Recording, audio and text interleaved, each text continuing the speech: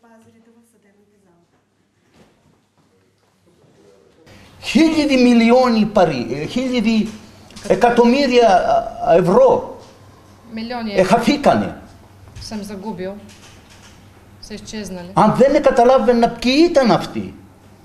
Και μετά όταν πήγαινα και τηλεφώνουν Ако и в αστυνομία. този случай не бях а, разпознал, успял да разпозная тези лица, Και τηλεφώνουν след това се обадих по телефона на полицията за помощ, όπως πάντα както и друг път съм правил.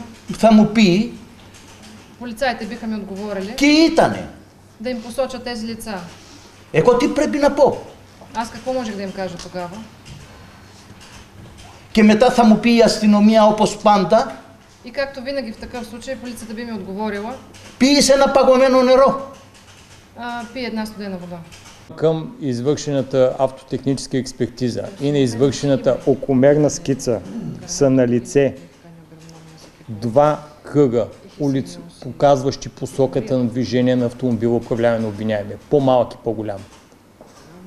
Именно при захождане втори път обвиняемия блъска подсъдимия, след което минава през него.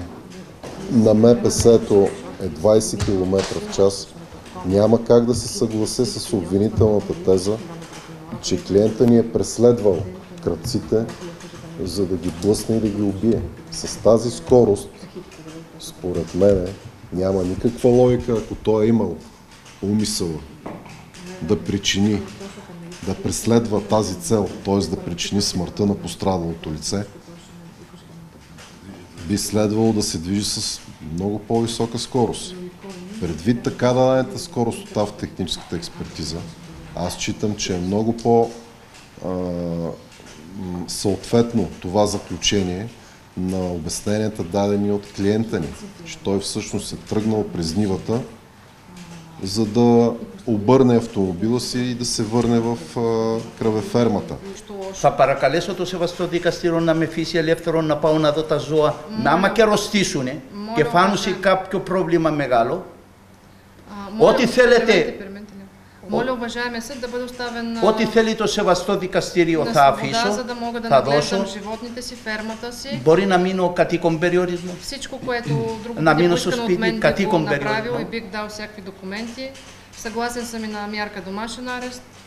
Σα- Συμφωνάω σε ψηλή, α, Дори σε и на ψηλή висок размер парична гаранция, ако такава бъде определена от съда. да,